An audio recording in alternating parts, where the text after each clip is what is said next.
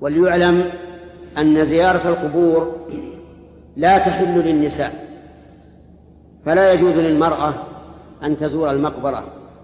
لأن النبي صلى الله عليه وعلى آله وسلم لعن زائرات القبور والمتخذين عليها المساجد والسرج لأن المرأة ولأن المرأة ضعيفة لا تتحمل فربما تنوح وتبكي وتلطم ولأن المقابر في الغالب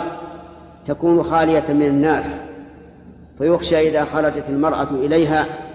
أن يتبعها السفهاء والسفل من الناس